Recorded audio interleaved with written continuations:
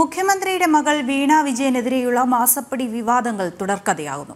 അനാഥാലയങ്ങളിൽ നിന്ന് കാരുണ്യ പ്രവർത്തനങ്ങളുടെ പേരിൽ വീണ വിജയൻ മാസപ്പടി കൈപ്പറ്റിയിട്ടുണ്ട്.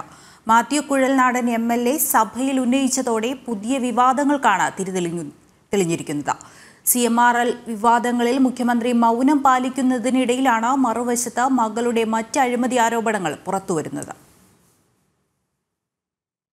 മുഖ്യമന്ത്രിയുടെ മകൾ വീണ വിജയന്റെ പേരിലുള്ള എക്സാലോജിക് എന്ന കമ്പനി സി എം ആറിൽ നിന്നും അനധികൃതമായി മാസപ്പടി കൈപ്പറ്റിയെന്ന വിവാദങ്ങൾക്കിടയിലാണ് പുതിയ ആരോപണങ്ങൾ.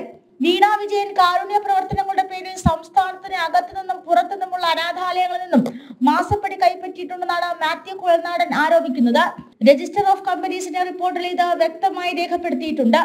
മുഖ്യമന്ത്രിയുടെ മകൾക്കെതിരായ ആരോപണങ്ങൾ ശരിവെക്കുന്ന രീതിയിലുള്ള തെളിവുകൾ തന്റെ പക്കലുണ്ടെന്ന് നിയമസഭയിൽ ഉയർത്തിക്കാട്ടിയായിരുന്നു. മാത്യു കോഴിനാടന്റെ വെല്ലുവിളി.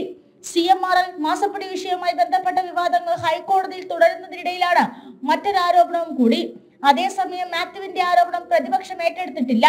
സമാനമായ രീതിയിൽ മുഖ്യമന്ത്രിക്കും മകൾക്കുമെതിരെ കൊണ്ടുവരുന്ന ആരോപണങ്ങൾ പലതും പ്രതിപക്ഷം കാര്യമായി ഇടപെടാത്തത് കൊണ്ട് തന്നെ സർക്കാരിനെ പ്രതിരോധത്തിലാക്കാനും കഴിയുന്നില്ല.